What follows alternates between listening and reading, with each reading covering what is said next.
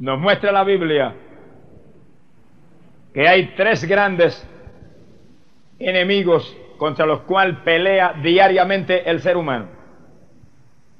El hombre tiene que pelear contra esos tres enemigos y vencerlos.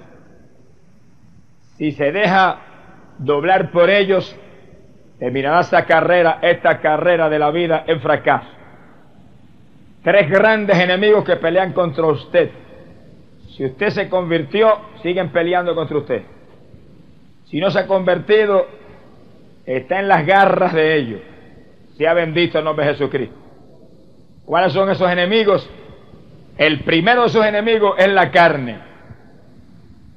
Y tóquese para que vea que está ahí. Pellizquela, que ahí está. Mi alma te alaba, Jesús. De esa no nos podemos deshacer fácilmente porque ahí vivimos. Usted vive en este cuerpo de carne, usted, el espíritu, el hombre interior, vive ahí en ese cuerpo. Y la carne tiene apetitos desagradables al Dios de la gloria. Apetitos que no son muy saludables y que le desagradan al Dios del cielo. Y la carne se goza en robarnos el tiempo.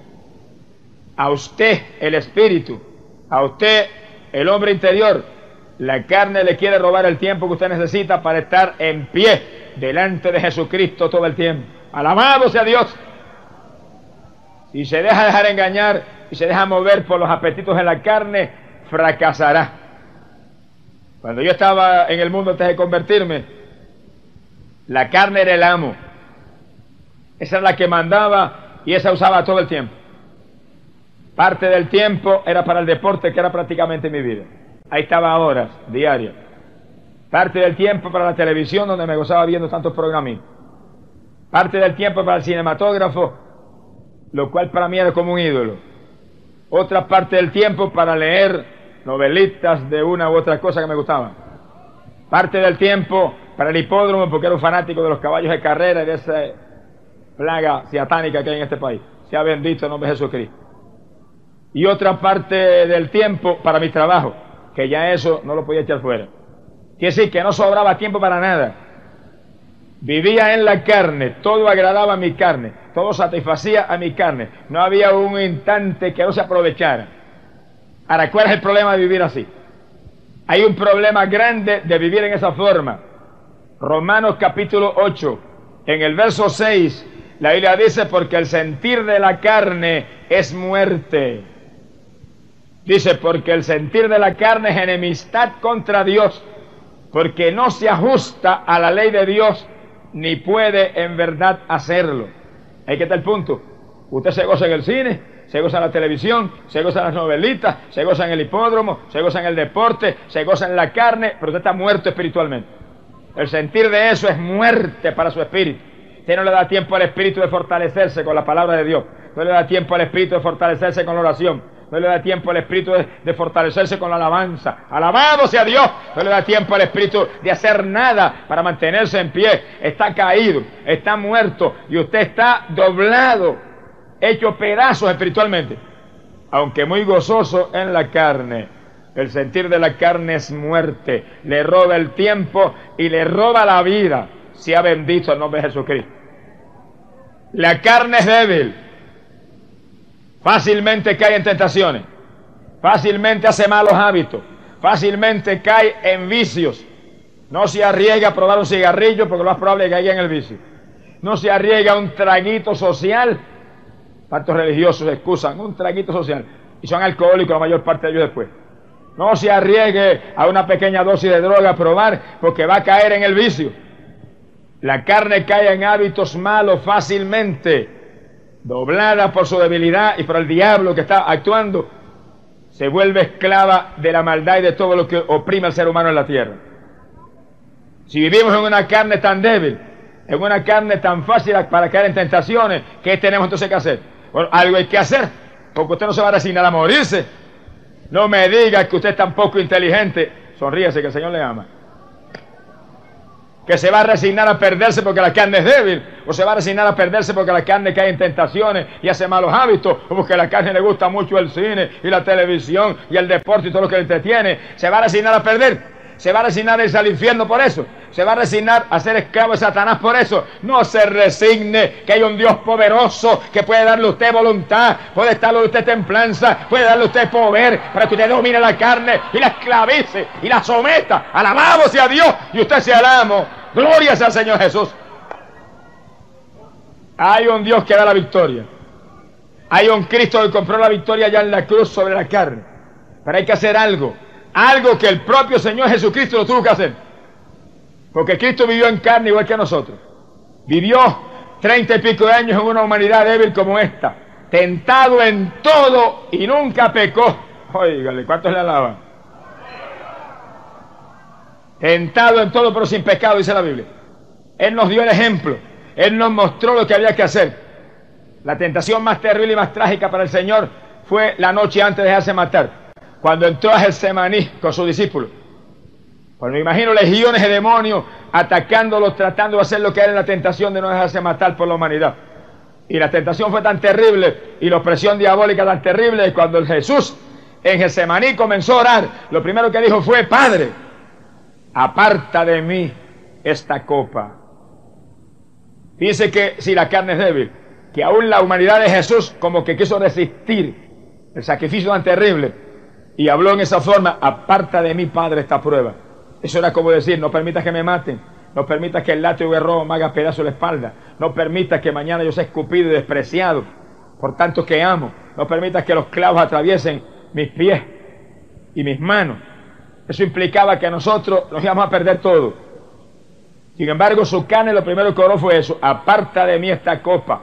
Pero el hombre espiritual, el hombre que está firme, el hombre que ama más a Dios que a su vida, el hombre que realmente se ha movido en la voluntad de Dios y se ha movido en las cosas espirituales, seguido reacciona y toma dominio de la carne y dice, un momentito, carnecita, ¿qué es lo que tú quieres hacer? Y el hombre espiritual gritó, pero Padre, no como yo quiera, sino como tú quieras. Alabamos a Dios. Que sí, que el sentir de la carne era no dejarse matar, ningún tormento, pero el sentir del Espíritu inmediatamente anuló el sentir de la carne. Porque al decir como tú quieras, no como yo quiera, ya lo primero estaba anulado. Porque la voluntad del Padre era que Él muriera. La voluntad del Padre era que Él pagara el precio por usted y por mí. La voluntad del Padre era poner sobre Él el pecado de toda la humanidad y la enfermedad de toda la humanidad, para que usted y yo no fuéramos ya esclavos, para que usted y yo no fuéramos ya reos de eterna perdición, sino libres, libres por la eternidad. Y usted y yo tuviéramos también poder y autoridad sobre esta carne, para que no pereciéramos, sino que con Cristo viviéramos por la eternidad. Alabado sea Dios. Pero el Señor se quedó ahí. Cuando dijo, Padre, no como yo quiera, sino como tú quieras, se tiró de rodillas y comenzó una oración tan violenta y tan terrible que la Biblia dice que entró en agonía de oración. Una oración agónica, tan tremenda que se bañó de sudor. Su sudor caía como sangre sobre la tierra. Se cansó el cuerpo en tal forma que la carne ya dijo, no oro más. Y el Señor envió un ángel del cielo y el ángel lo ayudaba, lo confortaba, lo fortalecía, hasta que la oración tremenda de Jesucristo atravesó a través de todas las potestades del diablo, rompió todas las trabas de Satanás y le impartió a él la fuerza, la autoridad, el poder, la voluntad para estar dispuesto a morir por nosotros y por toda la humanidad. Cuando con aquella oración terrible venció, sentir de la carne y todo, se puso en pie, dispuesto a morir por nosotros. Y acercándose a Pedro y a Juan y a Santiago, los encontró durmiendo. Y cuando vio que dormían, le dijo, ¿por qué dormís? Levantaos y orad para que no caigáis en tentación. Alabanza hacia Dios. La carne de Pedro no resistió, se durmió. La de Juan no resistió, se durmió. La de Santiago no resistió, se durmió. Todos dormían y roncaban alegremente, pero Cristo resistió la carne, dobló la carne, la humilló, la esclavizó, tomó dominio de ella y no se paró de la rodilla hasta que no sintió la victoria de los siglos, que estaba ya conquistada. Alabado sea Jesús. Quiere decir que si queremos vencer esta carne, mire, tenemos que orar. Por eso usted ve tantos evangélicos que siendo evangélico y diciendo soy evangélico y soy pentecostal y soy aleluya y soy bautista y soy metodista, andan en la carne todavía. Y todavía, mire, sienten celo. es un sentir de la carne. Y todavía sienten soberbia, es un sentir de la carne. Todavía se molestan en la ira por cualquier cosa, es un sentir de la carne. Todavía están nerviositos y todavía tienen dudas y todavía hay incredulidad y todavía hay titubeos de todo tipo y todavía, mire, comen más que algunos animalitos que yo conozco. Sonríase, Cristo le ama. Mi alma te alaba, Jesús. ¿Por qué? ¿Por qué no oran? ¿Por qué no buscan a Dios de corazón? ¿Por qué no se consagran a Dios? Porque en vez de madrugar a conquistar la bendición y a doblegar la carne y a tomar dominio sobre todos los apetitos de la carne, están durmiendo hasta tarde, agradando la carne, que eso es lo que quiere, sueño. Mi alma te alaba, Jesús. Cristo tuvo que orar. Los discípulos no oraron, mire, cayeron en tentación. Huyeron cuando vieron agarrar al maestro. Pero después de eso, después que el Señor venció por ellos y después que los bautizó con el Espíritu Santo, Pedro y Juan y Santiago oraban en sobreabundancia. Y oraban tanto que dijeron, no, a las viudas que las alimente otros, no tenemos que sacar el tiempo para orar y para la palabra. Mi alma te alaba, Jesús. Que si usted tiene que sacar tiempo para orar. El creyente tiene que tener una, vida de oración. El creyente tiene que programar su vida de oración. El creyente tiene que madrugar a orar como Cristo lo tuvo que hacer. El creyente tiene que buscar a Dios de corazón, porque si no la carne no domina. Y el sentir de la carne es muerte. El sentir de la carne es tragedia. El sentir de la carne es infierno. El sentir del Espíritu es gozo y paz y vida eterna. Alabado sea Dios. Y para andar en el Espíritu, usted tiene que sacar tiempo para orar. Ahora el amigo que está aquí en esta noche, ha claro. Si usted tiene que sacar tiempo para orar, amigo, para poder vencer esta carne que es más mala a veces que el mismo diablo, usted tiene primero que, primero que nada, tiene que tener a Cristo, porque sin Cristo usted no puede orar. ¿A quién le va a orar? Si el único abogado que está a la diestra del Padre es Jesucristo. Si el único mediador entre Dios y los hombres es Jesucristo. Si el único intercesor, el único que puede llevar esa oración como perfume a papá es Jesucristo. ¿A quién le va a orar? ¿Por qué pierde el tiempo la humanidad rezando y orando y gritando? ¿Para qué pierde el tiempo? Mientras no tiene a Cristo, su oración no llega. Pero cuando tiene a Cristo, hay un mediador, hay un abogado, hay un vencedor que hace posible que la oración llegue derechita hasta el trono de la gracia. Amén. Para que hallemos oportuno socorro del Dios de la gloria. Así que, amigo, el primer paso suyo para que usted pueda vencer esta carne, es aceptar este Cristo que le va a dar a usted la victoria. Aceptar este Cristo que le va a hacer a usted capaz de orar con efectividad. Aceptar este Cristo que le va a llenar a usted del Espíritu Santo. Para que usted camine en el Espíritu y no conforme a la carne. Sin Cristo usted no podrá vencer jamás. Cristo mismo lo dijo. Sin mí nada podéis hacer. Nada. Menos orar. Mi alma te alaba Jesús. Esta es su noche, amigo. Usted tiene que comenzar a vivir una vida nueva, a prepararse para la venida del Señor, a prepararse por si la muerte lo toca antes de tiempo. Usted tiene que avanzar. El tiempo es corto. Estamos en época de peligro. Estamos en época final, en época decisiva. No le des lugar al diablo, dice la Biblia. No le dé una oportunidad más a Satanás. Usted está aquí porque Dios lo trajo a salvarlo. Usted está aquí porque Dios lo trajo para abrazarlo en esta noche y adoptarlo como hijo para que usted sea heredero del reino celestial. Amigo, esta es la noche de su victoria. Amén. Esté aquí, mire, esté aquí. O esté en su casa. Como quiera estamos llevando la palabra. Mire si Dios lo ama. Que levante una emisora en Puerto Rico para que lleve la campaña a la casa. Eso no lo tuvieron en los días de Jesucristo la gente. En los días de Cristo el que quiso oír la palabra tuvo que correr y caminar y irse y pararse lo más cerca posible para oír. Porque ni altoparlante tenía el maestro. En los días de los apóstoles tuvieron que ir allá a ver qué pasaba. Y caminar de una aldea a la otra a ver qué pasaba. Ahora la gente tira para atrás en un sillón lo más feliz en su casa. Oye el mensaje. Hay de los que no se conviertan en estos días. El juicio para usted será peor que para Sodoma y Gomorra. Si Sodoma y Gomorra hubieran tenido la oportunidad que usted está teniendo en este tiempo, estarían en pie todavía. Pero usted está dando una oportunidad que nadie le ha dado el Señor en ninguna época. El mensaje en su propia casita, el mensaje por radio, el mensaje por televisión, el mensaje por todas las formas de comunicación, hasta el periódico saca el mensaje hoy. Alabado sea Dios y a Maya. Por lo tanto, ¿qué excusa usted tendrá? ¿En dónde se esconderá si no avanza y acepta a Cristo? En el día del juicio le van a decir, mira, en el periódico le sacamos los milagros que hice en la campaña y te anunciamos, hasta los días que eran, y el estadio y todo.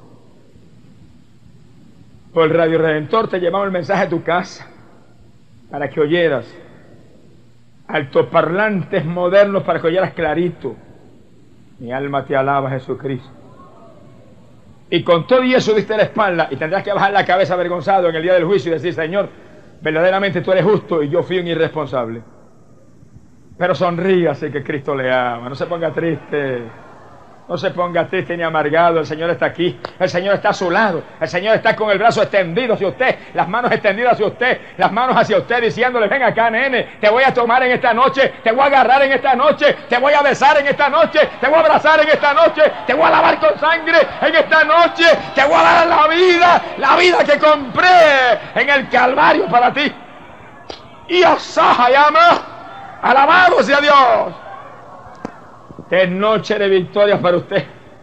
Mire, amigo querido, esta es noche histórica para usted. Porque usted acepta a Cristo en esta noche y permanece en Él. En el día del juicio, usted no irá a juicio. Usted estará allí como testigo viendo, diciendo gloria a Dios por aquella noche en el Lubrier. Cuando yo levanté la mano y acepté a Jesucristo y escapé y me libré. Si no hubiera aceptado aquella noche, estaría de reo aquí hoy pero no estará de reo en ese día, porque ya no hay juicio, ya no hay condenación, ya no hay, mire, ninguna clase de maldición para aquellos que aceptan a Cristo Jesús, porque Cristo en la cruz crucificó toda maldición. Gloria a Dios, somos libres. Por el Cristo que en Getsemaní venció en las rodillas y al otro día se dejó matar por toda la humanidad. Esta es su noche. Venga Jesucristo comienza a vivir para Él y ya usted no cumplirá con las concupiscencias y las debilidades de su carne.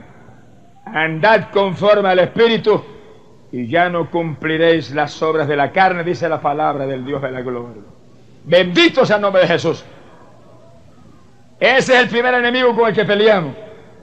Y usted carga con él todos los días, no lo puede soltar. Es el primer enemigo que tiene que vencer. Y usted está ahí dentro de él. Mi alma te alaba, Jesús.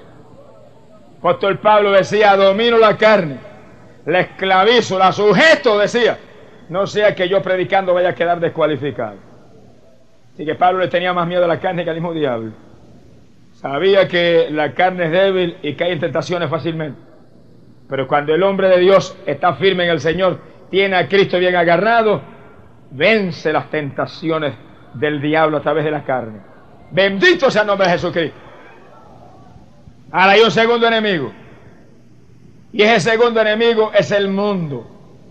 En la carne usted vive y en el mundo se mueve. Que decir que las cosas también, todo lo malo está bien cerca de nosotros. Y usted no se puede salir del mundo porque está aquí puesto para eso mismo para dar testimonio y alumbrar en esta tiniebla satánica que se llama el mundo. ¿Acaso estamos aquí? No es para que nos gocemos de su perversión, es para que alumbremos, para que demos testimonio, para que seamos cartas abiertas, para que la humanidad perdida en el mundo vea en nosotros un rayo de esperanza y de luz de arriba del cielo. ¡Gloria sea Dios! El mundo le brinda a la carne todo lo que a la carne le agrada, todo.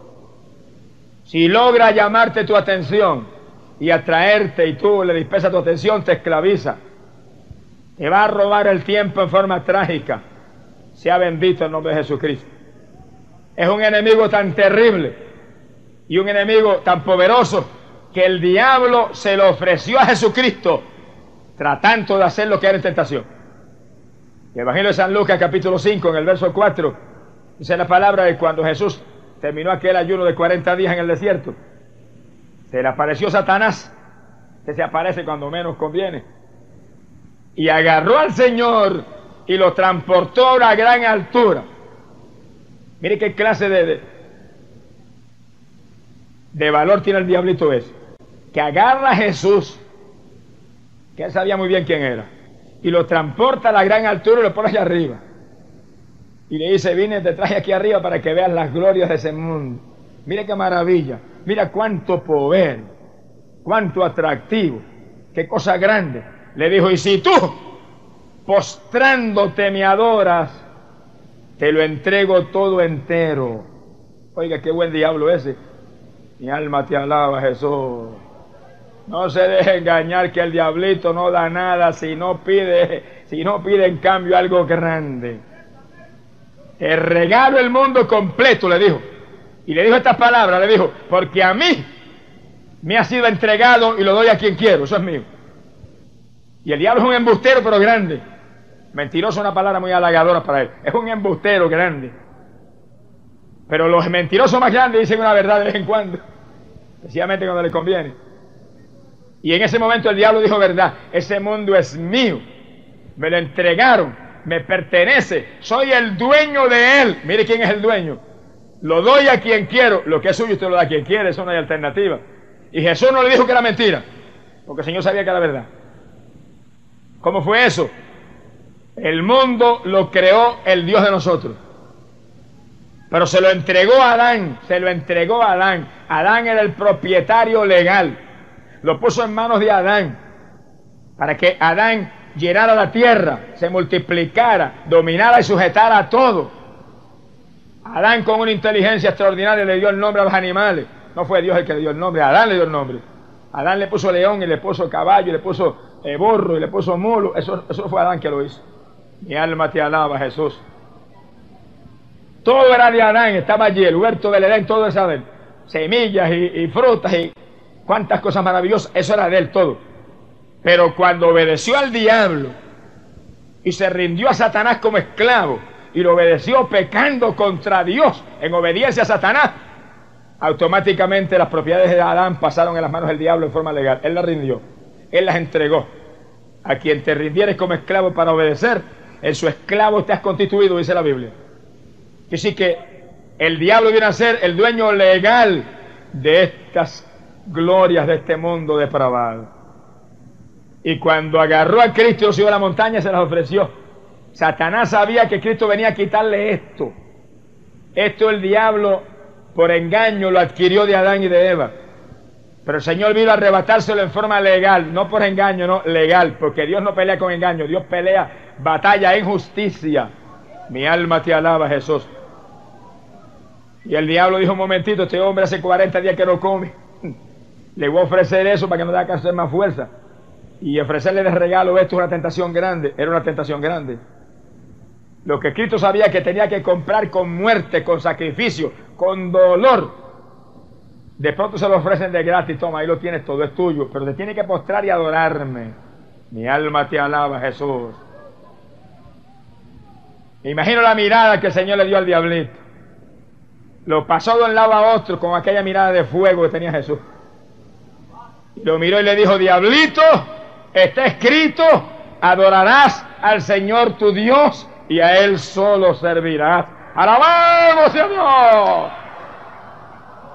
No había forma. El Señor no quería regalos en una clase. Él sabía que tenía que venir a pagar un precio grande. Por esto que estaba vendido Satanás. Y no cayó en la tentación. Pero fíjense, ¿quién le ofreció el diablo? El mundo. ¿Qué dijo el diablo? Eso es mío. Y no dijo mentira. Cristo mismo le llamó el príncipe del mundo. Y lo dijo. Ahora es el juicio del príncipe del mundo, poco antes de morir en la cruz. Dijo, pero él no tiene parte ni suerte conmigo. Y los que están vendidos a Cristo, oiga bien, vendidos a Cristo, que fuimos comprados por precio de sangre, los que nos hemos entregado a Él de corazón, los que estamos encadenados a Él, los que estamos ligados a Él, el diablo tampoco tiene parte ni suerte con nosotros, porque somos el cuerpo de Cristo Jesús, el Hijo de Dios. Amén. Gloria a Dios. Eso es lindo. Dígame. Pero oiga esto otro ahora y sonríase, Cristo le ama y no se enoje conmigo. Pero los que no están ligados a Cristo, los que están ligados al mundo, los que aman más al mundo que su vida, los que se gozan en las cosas del mundo, algunos son evangélicos, sonríese que el Señor le ama.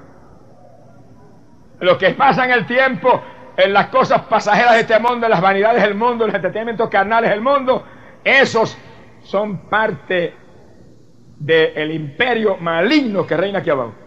y son propiedad del príncipe del mundo en cuyas cosas se están gozando. Eso no es lindo, pero es verdad. No se enoje conmigo, que yo le amo. ¡Alabado sea Dios! La Biblia habla de eso de forma clara. Y óigalo bien.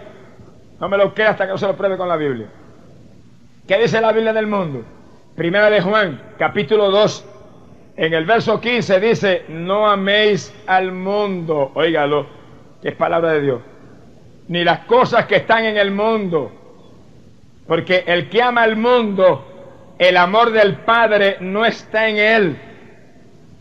Eso no es lindo, pero se lo voy a repetir otra vez porque es importante para usted. Abra bien los oídos ahora y abra el corazón para que se le meta en el espíritu y le meta un puntapié a las cosas mundanas de esta noche en adelante y viva. Gloria a Dios, eso respira muerte, pero lo de Dios respira vida. Primera de Juan capítulo 2 verso 15, búsquenlo en su Biblia. No améis al mundo, es una orden de Dios, ni las cosas que hay en el mundo. Porque el que ama al mundo, el amor del Padre no está en él. Usted no me puede decir a mí, yo soy de Dios, yo amo a Dios, soy propiedad de Dios y al mismo tiempo ser amigo del mundo. Usted sería un hipócrita, no se enoje que el Señor le ama. Tiene que decidirse, o uno o el otro. Y, y, la Biblia dice algo más en forma detallada. La Biblia añade ahí mismo, dice, porque las concupiscencias de la carne, ahí está la carne en el asunto, los deseos de la carne, la concupiscencia de los ojos, los deseos de los ojos, y la soberbia de este mundo, dice, no son de Dios, sino del mundo. Y todo lo del mundo pasa, pero el que haga la voluntad de Dios permanecerá para siempre. Ahí que está el punto importante que usted se puede gozar en el mundo. Usted le puede sacar partido a todos los entretenimientos carnales aquí abajo, pero eso pasa. Eso tiene solamente una corta estadía. Eso llegará un momento que se acabó y usted encontrará que ha fracasado, que se perdió, porque sentir de la carne es muerte. Pero el que haga la voluntad de Dios, dice, permanecerá para siempre. No hay muerte, no hay destrucción de ninguna clase, no hay maldición de ninguna clase, no hay fracaso, victoria eterna en los brazos del gran redentor. Alabado sea Dios. Ahora entienda bien claro el asunto. El que ama al mundo, el amor del Padre no está en él. Dice, la concupiscencia de la carne. Las cosas que le gustan a la carne las novelitas mundanas que salen por la radio y por la televisión, el baile, la fiestecita, la comida. Hay más glotones aquí abajo que pelos tenemos en la cabeza todos nosotros. Gócese que el Señor viene pronto. El comer no es pecado, pero el comer en exceso es pecado porque daña el cuerpo. Daña el cuerpo. Luego es un esclavo de la comida. Hay gente que vive para comer. Se supone que usted coma para vivir saludable. Son dos cosas muy distintas. Es decir, que a la carne le agrada esas cosas. Y las codicias, fiestas de todo tipo, entretenimiento de todo tipo, cinematógrafos, esas cosas le encanta la carne. Pero sentirle la carne es muerte. Mi alma te alaba, Jesús. La concupiscencia de los ojos, lo que los ojos anhelan ver para entretenerse. La televisión, el cinematógrafo, y usted se sienta ahí y está horas mirando. Se le daña hasta la vista a la gente. Los niños los pegan a la televisión a una yarda y cuando tienen 7, 8, 9 años ya están con lente. Moisés a los 120 años la vista ni se la vio para todavía. Mi alma te alaba, Jesús. Caleb y Josué que vivían con Dios a los 80 estaban como a los 40. Y todos los que estamos con Cristo estamos fuertes. Tenga 40, tenga 50, tenga 60, tenga 70. Tenemos la fuerza de Dios, la fuerza de Cristo. Porque cuando andamos en comunión con Él, su naturaleza, amén, que es vida y salud y vigor, es añadida al creyente. Gloria a Jesús. Mi alma te alaba, Jesús. Concupiscencia de los ojos. Dice la soberbia de la vida actividades que lleven al ser humano de soberbia. Se sienta ahí en el sillón a ver la lucha libre y él pelea una batalla también acá. Y el favorito de él quiere que ganen, que maten al otro. Y en el boxeo lo mismo. Y en la mayor parte de los deportes lo mismo. Que le corte el cuello al árbitro si dijo algo que estaba en contra de lo mismo. Que mate al otro pelotero si es que va a ganarme el juego. Soberbia. Ese es el mundo. Eso es lo que el mundo ofrece. Soberbia, concupiscencia, muerte, tragedia para usted. Pero los que hacen la voluntad de Dios, inmortalidad, vida por los siglos y los siglos con el gran redentor. Alabado sea Dios. Y así que si usted es inteligente, oiga esto bien, a ver si es verdad que usted es inteligente o no es. No me mida la inteligencia por cociente como en la psicología, déjese cuenta. Vamos a medir la, la inteligencia por la palabra de Dios, porque la psicología falla, pero la palabra de Dios es infalible. El cielo y la tierra pasarán, pero mis palabras no pasarán ciertamente. Gloria a Dios. Por la palabra. ¿Hay alguno inteligente? Dice la palabra. Busque a Dios. Eso es todo. Si usted busca a Dios, usted es inteligente. Si usted es fanático de Dios, usted es inteligente. Si usted saca tiempo diario para Dios, usted es inteligente. Si usted, mire, es el experto más grande que hay aquí abajo en electrónica y no busca a Dios, usted no es inteligente de nada. Usted tiene la mente cerrada. Sonríese que el Señor le ama. Usted puede ser un especialista en hueso. Usted puede ser un especialista en niños. Usted puede ser el doctor, el cirujano más afamado. Si usted no busca a Dios, usted no es inteligente. No se enoje conmigo. Busque a Dios y sálvese. Escape por su vida, que la muerte acecha en todo instante en esta vida. Especialmente en estos días depravados y finales. El principio de la sabiduría es el temor a Jehová. Esa es la inteligencia que enseña la Biblia. Cuando usted se mueve con temor de hacer lo que desagrada a Dios, usted es inteligente. Cuando usted se mueve con temor de desagradar, de moverse indiferente a Dios, de desobedecer a Dios, usted tiene sabiduría. Cuando usted mira para arriba diariamente, Señor, te amo más que a mi vida, usted es inteligente. A lo mejor no ha ido ni a primer grado. A lo mejor no tiene letras como Pedrito. Pero si usted busca a Dios, usted es inteligente. Alabado sea Dios. Busque a Dios. Muestre que es inteligente. Gloria a Dios. Aldo temprano la muerte llega y si está sin Dios usted sabrá lo que es condenación. Mi alma te alaba, Jesús. ¿Qué más dice la Biblia del mundo? Carta a los Colosenses, capítulo 3 y verso 2. El apóstol Pablo predicó y dijo, pensad en las cosas de arriba, no en las de la tierra, no en las del mundo. Porque si habéis muerto al pecado, estáis escondidos con Cristo en Dios. Y si estás escondido con Cristo, Cristo dijo, mi reino no es de este mundo. Yo no soy de aquí abajo, dijo. Mi alma te alaba, Jesús. Quiere decir que si usted es de Cristo, usted está mirando para arriba. Usted está pensando en lo de arriba. Su corazón está en lo de arriba. Usted siente y piensa como los de arriba. Usted camina como los de arriba. Camina en el Espíritu. Camina en santidad. Camina en obediencia a Dios. Camina decidido a hacer lo que Dios quiere, no lo que usted quiere. Alabamos a Dios. Pensate en las cosas de arriba. Amén. Dice la palabra de Dios. Y así que si estamos en el Evangelio, si estamos en el Señor, si estamos muertos al pecado, la palabra lo dice clarito Estás escondido en Cristo y eres propiedad del Dios de la gloria. ¿Cuántos son cristianos todavía? Oiga, casi no hubo un amén. Mi alma te alaba, Jesús. Pero oiga esto claro, no se ponga triste ni se desanime. Cuando pensamos en lo de arriba, cuando comenzamos a buscar a Dios de corazón, cuando le damos la espalda al mundo, entra un gozo y entra una paz y entra una alegría y entra una felicidad y entra una salud y entra un vigor y entra, mire, algo tan grande que uno puede estar ni quieto, uno tiene que decir, gloria a Dios, qué lindo es Jesús, qué precioso es el Maestro, ay, qué precioso es mi amor Cristo, alabado sea Dios.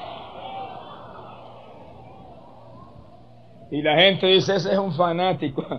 Ojalá todos fueran fanáticos de Jesucristo. Pero el que le dice que usted es fanático, ese a veces no puede dormir, parece insomnio.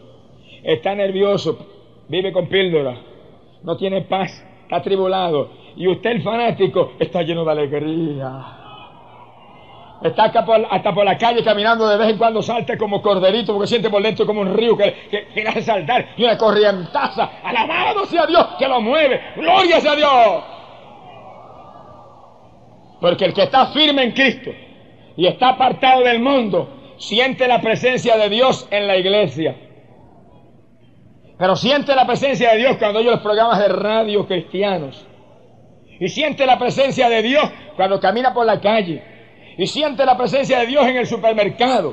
Y siente la presencia de Dios en la escuela. Y siente la presencia de Dios en el trabajo.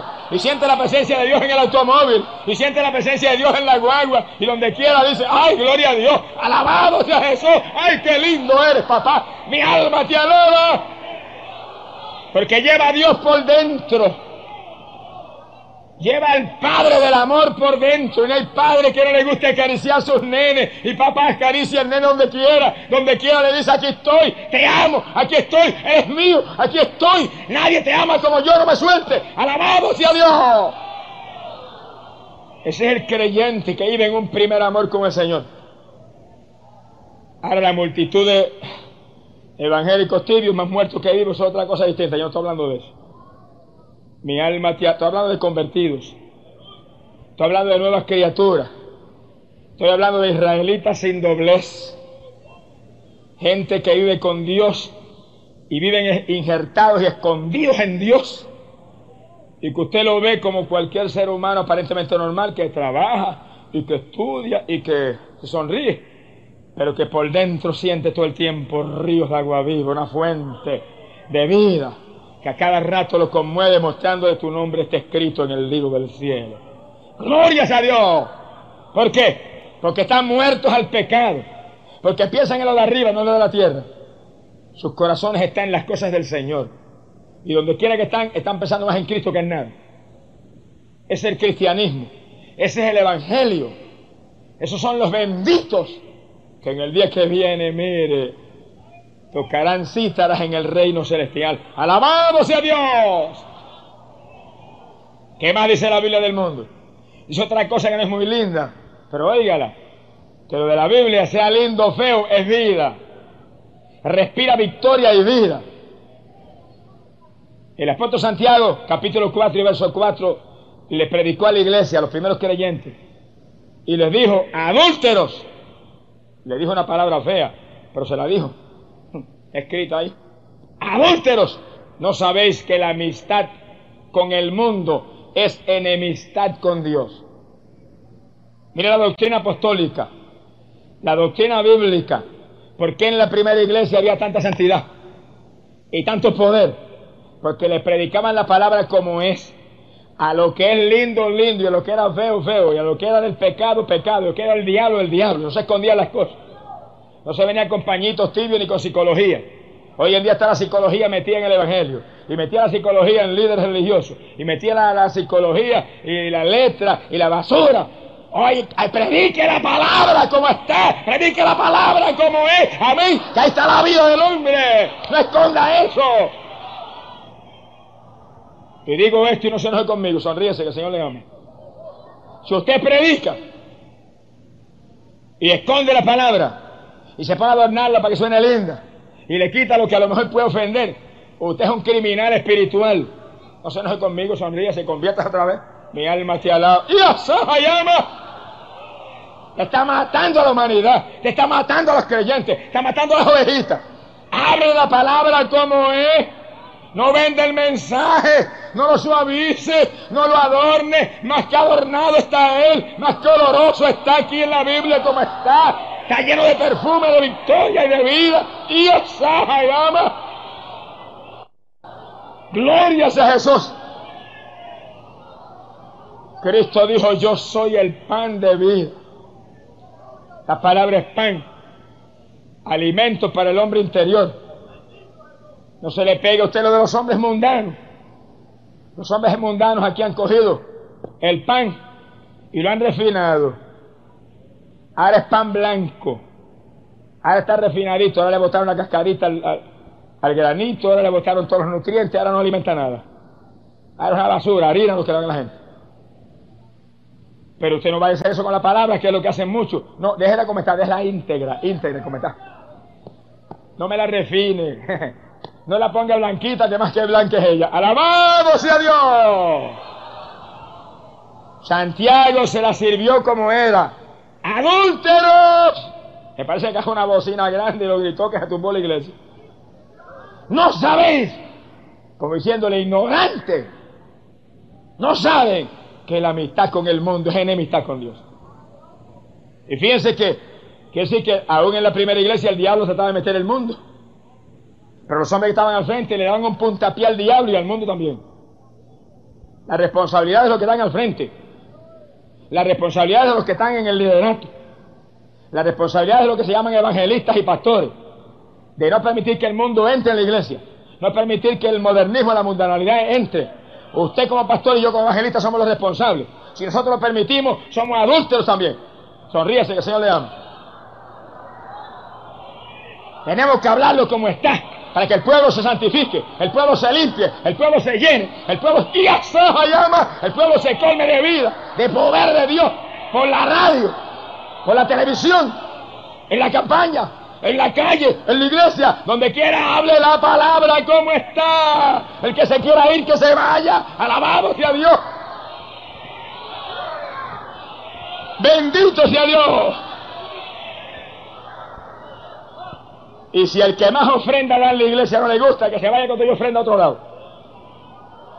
Que esto no es camino de dinero, ni es camino de codicia. Esto es camino de vida, camino de fe, camino de santidad, camino de espiritualidad, camino de palabra de Dios, palabra de Dios. Amén. Para que el pueblo crezca y se alimente. Gloria sea Dios. Mi alma te alaba, Jesús. Ahora oiga esto bien y entiéndalo. ¿Por qué Santiago le dijo adúlteros sos creyentes? Adúlteros le dijo. Si están en amistad con el mundo, están en adulterio, le dijo. ¿Por qué le dijo eso? Porque Cristo lo había hablado claro y él lo, lo oyó. El príncipe del mundo es el diablo. El que está en amistad con el mundo está casado con Satanás. Rompa, eh, divórciese hoy. Mi alma te alaba, Jesús. Rompa ese matrimonio que es ilegal. Es un matrimonio de engaño. Si está casado con el mundo, está casado con su príncipe. Está abrazado con Satanás. Y entonces usted dice, soy evangélico, como los creyentes que estaban en Santiago predicando. Pues el que dice que es evangélico está casado con Cristo. Que si usted tiene dos esposos, usted está en adulterio. ¿En qué está el punto? Que usted no puede tener dos esposos porque si está, tiene dos esposos está en adulterio. La mujer que tenga dos esposos es una adúltera. Y el varón que tenga dos esposas es un adúltero. Que tienes que conformarse con una nada más, que es lo que enseña el Evangelio. ¡Alabado sea Dios! Espiritualmente es lo mismo. Si somos creyentes tenemos que estar desposados a un solo esposo, Cristo. En el Antiguo Testamento el Señor estaba casado con Israel, esa era su esposa. Y cuando comenzó a fornicar con el mundo y adorar los ídolos y hacer todo lo que era abominable al Señor, el Señor los desechó, se apartó de ellos, los echó fuera y dijo, adúltera, fornicaria, le dijo a, su esposa. Y se tomó otra esposa y ahí estamos nosotros ahora, injertados ahí como abortivos nos pegamos. ¡Alabado sea Dios! Que sí que por adúltera Israel, la esposa original del Señor, fue echada afuera. Porque fue infiel al Señor. ¿Cómo fue infiel? Porque se confraternizó con el mundo. Ahí está la infidelidad. Y Santiago conocía muy bien eso, muy bien. Por eso le dijo a, los creyentes, adúlteros, van a ser como, como los judíos, le digo, adúlteros, no saben que la amistad con ese mundo asqueroso del diablo es adulterio, es enemistad con Dios. Ahora, usted dice que es evangélico, usted dice que es creyente y está en amistad con el mundo, está en adulterio, pero en esta noche dele un puntapié al diablito es. En esta noche dígale, Señor, mis van a ser solamente contigo. Perdóname adulterio. Y en el segundo que usted hace esa decisión, la sangre de Cristo lo limpia. La sangre de Cristo disuelve ese pecado. La sangre de Cristo desaparece eso. Dios lo mira y se sonríe y dice, qué nene fiel, qué nene lindo. Ese nene es mío. Ese nene nunca adulterado. Dios olvida. A lo profundo de la mar es echado eso. Porque Dios perdona y olvida. No lo puede acusar nadie usted después. Si a los tres minutos usted haberse arrepentido, Señor, es a ti nada más que te voy a dar. Dios lo perdonó y lo lavó con sangre. A los tres minutos va el diablo allá arriba ese es un adúltero. Mira, está en, fornicación conmigo abajo. El Señor le va a decir, diablito mentiroso, ¿cuándo fue eso? Sí, todo el tiempo estaba viendo televisión, lucha libre, boxeo allí. Tú lo sabes. El Señor dice, no, yo no lo sé. No veo eso, no está en los libros míos apuntados aquí arriba. No me acuerdo eso. ¿Cuándo fue eso, diablo? Mentiroso. Retírate para abajo otra vez. ¡Alabamos a Dios! Y el diablo sabe que es verdad. Pero el diablo quiere ir por encima de la sangre y no puede. Porque cuando usted se acepta al Señor, o usted se arrepiente, o usted dice, Señor, yo cometí esta falta, perdóname, la sangre de Cristo limpia eso, la sangre de Cristo cubre eso, la sangre de Cristo disuelve eso, Dios ya no lo ve, Dios ya no se acuerda, y aunque el diablo lo acuse, Dios dice, no me acuerdo de eso, diablo, está limpiecito, es santo, está precioso ante mis ojos, gloria a Dios. Esta noche venga Cristo y lávese en su sangre. En esta noche venga Cristo y comienza una vida nueva con Él. En esta noche venga Cristo y todo lo malo que usted ha hecho desaparecerá. Te quedará limpiecito delante de Dios. Dios se va a gozar con usted como un hijo más que Él adopta para que sea heredero de su reino. La carne y el mundo, si le damos oportunidad, nos van a hacer pedazos. Nos van a enviar a la eterna perdición. Pero hay un enemigo más. Y ese está suelto. Y ese es el diablo. Hay gente que cree que eso es una leyenda. Yo he oído gente llenarse la boca como muy sabio y decirme yo creo en Dios pero no creo en el diablo. Yo le digo eso es lo que el diablo quiere que usted no crea en él. Usted no cree que existe para darle como se le antoje a usted. Porque no hay enemigo más peligroso que el enemigo que usted no conoce. Sea bendito el nombre del Señor. Pero como usted conoce el enemigo y usted sabe cómo son sus trampas, usted se mueve a la defensa. Y como quiera que venga, usted está preparadito. Pero como usted se hace muy sabio, no, yo no creo que exista el diablo. El diablo se le ríe en la cara y le dice, ahora que te voy a dar duro.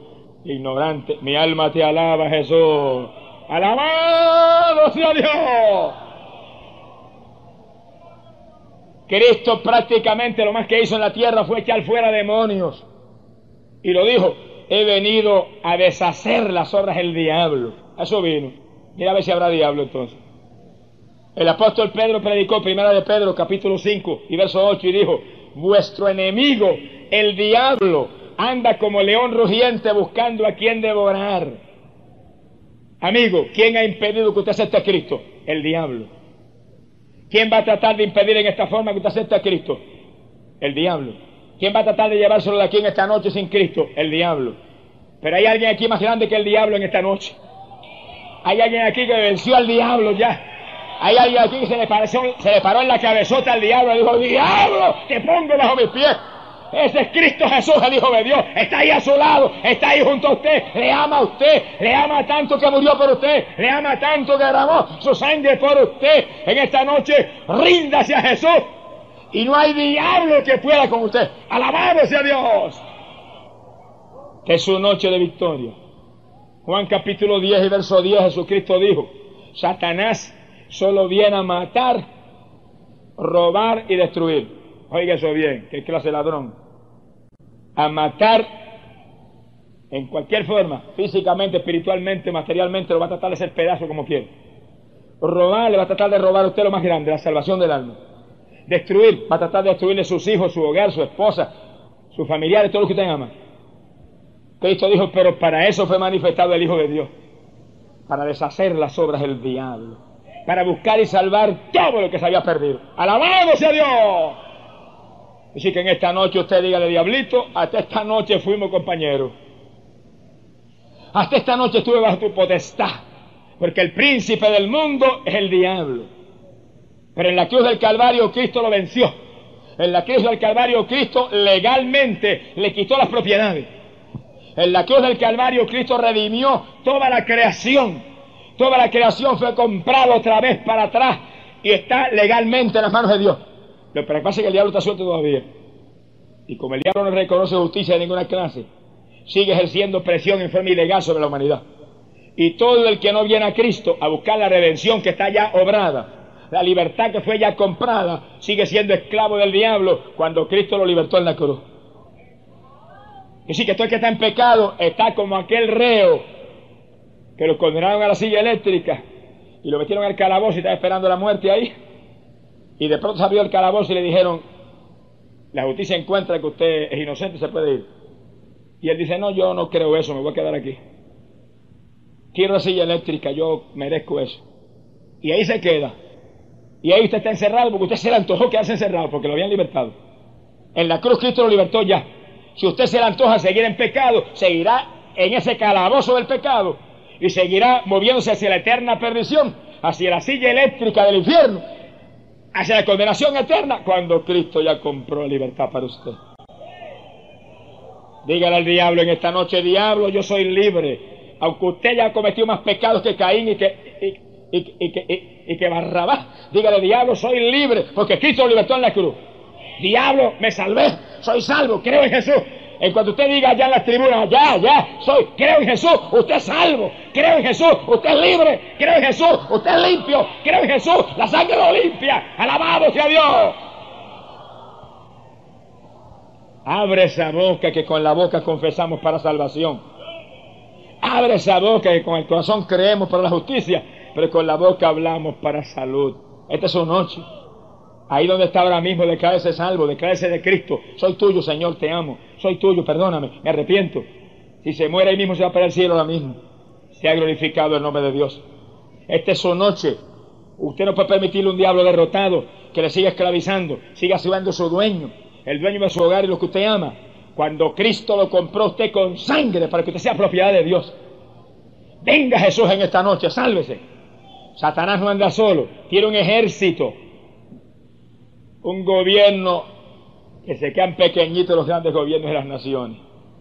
Los gobiernos de las naciones son gobiernitos al lado del gobierno de Satanás. Ahí hay potestades, principados, ahí hay de cuánto tipo de demonios hay, desde malicias espirituales de esas que molestan a la gente, hasta príncipes satánicos terribles. Demonios que el Señor dijo, si no es con oración y ayuno, ni quien los eche fuera. Sea bendito el nombre de Jesucristo. Él mismo tuvo que orar y ayunar para poder echar fuera a los demonios que sí que es un gobierno organizado, que no se divide. El Señor lo dijo, Satanás no se divide. Él sabe que un reino dividido no subsiste. Por eso que nosotros los creyentes tenemos que unirnos cada día más. Y los pastores cada día más unidos. Y los evangelistas y pastores cada día más unidos. Y cada día más agarrados unos de otros y amándonos cada día más. Y si falló aquel, vamos a perdonarlo y abrazarlo y a buscarlo y a decirle, hermano, te amamos y echaron a los chismes, y echaron a las murmuraciones y las críticas. Dios no nos llamó a juzgar ni a criticar, nos llamó a amarnos, amarnos, amados los unos a los otros, como yo se amado. Alabado sea Dios, para que haya unidad. Necesitamos la unidad a todo costo. Imposible que el diablo sea más inteligente que nosotros. Tenemos la mente de Cristo. Por lo tanto hay que pelear por unidad hay que bajarnos, hay que bajarnos, hay que humillarnos, hay que humillarnos, hay que perdonar, hay que movernos al hermano aunque nos haya dado la cara, abrazarlo y a buscar unidad, porque tenemos que unirnos para que la batalla de los últimos días sea la victoria aplastante que Dios quiere darle al diablo en estos últimos días, arrebatándole millares y millares de almas, alabados sea Dios, antes de que la puerta se cierre, gloria sea Dios. Que sí que es el tiempo decisivo, tiempo final Satanás haciendo lo último, como león rugiente buscando a quien devorar. Él sabe que está derrotado. Él sabe que Jesús lo juzgó en la cruz y lo venció y lo encontró culpable de su maldad.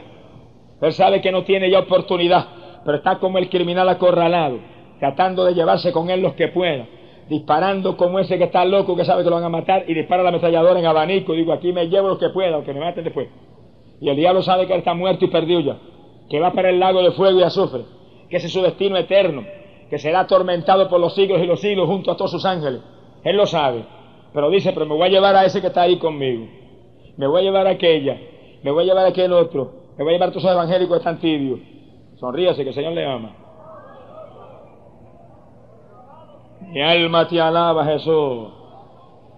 Y me voy a llevar todos los ministros, pastores y evangelistas que están pensando más en dinero que en la palabra de Dios y en las almas y.